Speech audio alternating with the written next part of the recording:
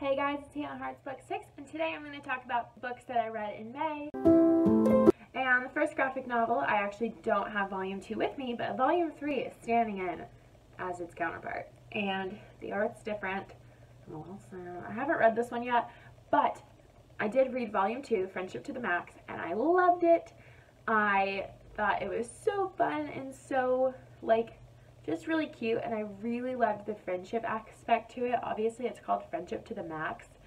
So, I mean, obviously a lot of friendship's to happen. And I really liked how there was a lot of build up. I really liked the twist of the, um, like, gods and goddesses and stuff.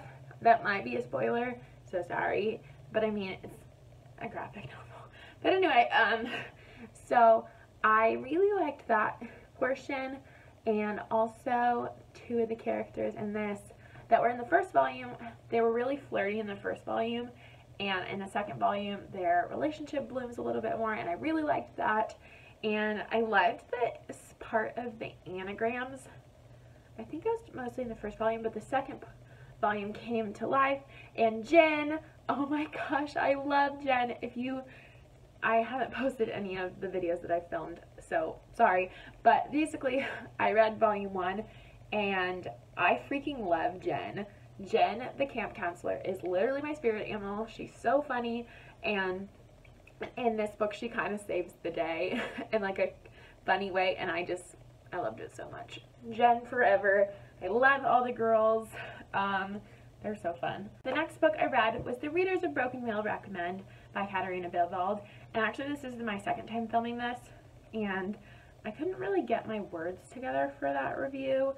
So I'm just going to read you what I said on Goodreads and it really is going to guide my review. Basically, I gave this book three stars, mostly because I was in a slump while reading it, and I had to like force myself to finish this book and motivate myself to finish it because I was not getting a lot of motivation through the actual content of the book, but I will read you my Goodreads review. So, said, I'm so conflicted on my rating for this book, as I just said. I loved the characters and the storyline, but for some reason, I just was not motivated to pick up this book. I think it may be because I've read so many okay books in the past month that I really am feeling slumpy. I want to find a book that I seriously can't but put down because I miss that feeling so much. That aside, I loved the characters. Okay, so before I read the rest of it, I'm going to tell you basically what the story is about, or the build up to the story. There's this girl named Sarah, and she lives in Sweden.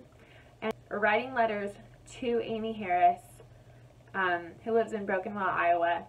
And basically they've been pen pals for the past two years, and they make a plan that in August of this current year that she is going to come visit Amy for a month in Broken Wheel and like meet all the people that she talks that Amy talks about in the letters at the beginning of the month when Sarah's supposed to stay in Iowa. So she is in Hope, Iowa when when we first find her and she's at the train station where her and Amy were supposed to meet like and she's been waiting for over an hour and Amy's not showing. So basically this guy who lives in Hope gives her a ride to Broken Wheel and he's like chastising her the whole time. He's like, why did you come all the way from Sweden to go to this podunk town, Broken Wheel, and like nobody cares about it. And so she gets there and she figures out from this lady named Grace who works at the restaurant that Amy died. And she died about a few weeks ago. And basically they didn't know how to contact her. So basically she gets there to this town She's halfway across the world and finds out that the person she was supposed to stay with what died. And so they want her to live in the house. And she ends up staying and a lot of different stuff happens. And she and Sarah loves books. And that was her, her and Amy's main connection is that they loved books. And so basically it just goes from there and them talking about books. But nobody else in the town loves the books. So the title's kind of misleading. But anyway, that aside, I loved the characters. I loved Grace because she talked about characters from books like they were real, and I related to that on another level. Throughout the story, people start to fall in love with books, and Grace, the lady who owns the restaurant, um, Sarah recommends her to read Fried Green Tomatoes at the Whistle Stop Cafe, and Grace literally talks about one of the main characters from that book like she is a real person and refers to her and, and is like, well, this lady wouldn't do this. And it's so funny because I literally related to that because I'm like, man, I do that sometimes where I'm like, man, like Lara Jean, she really wouldn't do that. But then I liked Sarah because she could get lost in a book. Sarah, I totally related to her. There's literally a scene in the book where she's reading for three or four straight hours and everybody in the town is lined up outside a window watching her read. It's so funny. And she doesn't notice them. And then I liked Tom because he reminded me of my own non-reader husband. I love the addition of Amy's letters because it really established her connection with Sarah and eventually Sarah's love for Broken Wheel. I really liked how they involved her letters because otherwise you wouldn't really know that much about Amy because when you start off the story she's already died. So it was really fun to know about her um, like love for Broken Wheel and the people in it. So lastly, I loved George because he was a super great guy, and I'm so glad he got the girl in the end, even that if that girl was just his long lost daughter. And George is basically like this drunk, or like this former drunk in the town, and he accepts Sarah with open arms and loves her, and it's just, I mean, I really, I liked the book, and I think from reading this review and remembering how I read it, I like it a little bit more. So I think I probably would change my reading to a 3.5.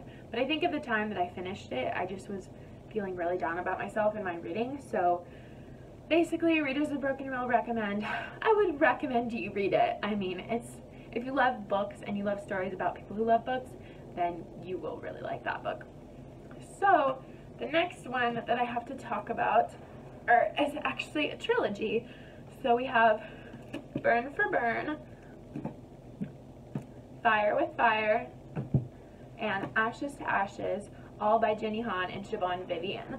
And actually, I'll break down my ratings for them. So, Burn for Burn gets four stars, probably four and a half.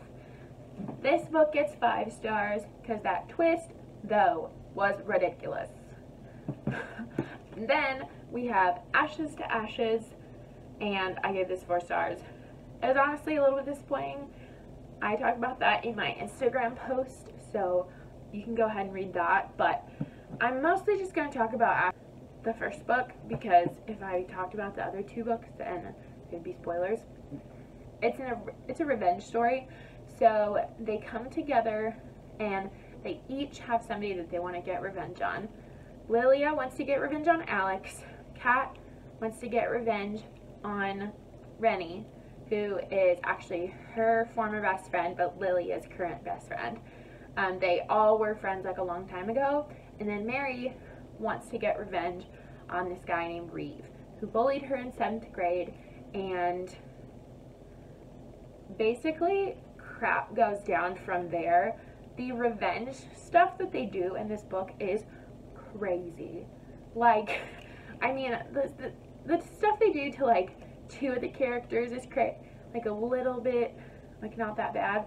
But the other one like it goes really hardcore. And there's a like there's a like twist at the end of this book and you're like what the heck? And so it kind of introduces this like paranormal element but oh my gosh it's crazy and then without spoiling fire with fire um one character in this book I was suspicious of the whole time because I was reading some Goodreads reviews and I was trying not to be spoiled but also kind of getting spoiled in the end.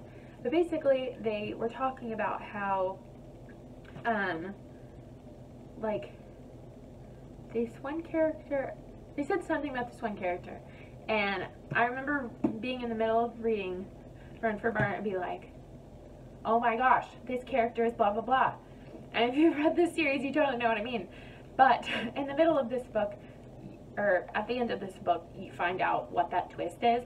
And I actually did predict the twist, but I could not explain how it was happening. So I still really enjoyed this book, even though I predicted the really big twist of this series. Mostly because I saw a little bit of a spoiler, but not a huge one. So I also, this book is like 517 pages, and I read it in like two days.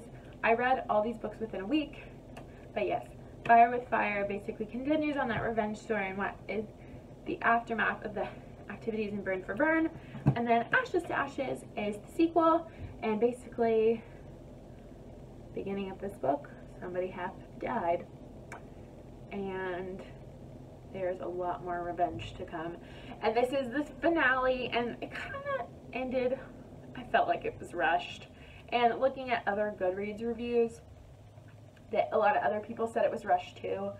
So, yeah, I, I wasn't in love with Ashes to Ashes. I gave it four stars, but I think it would be more like 3.5 stars if we're being really technical.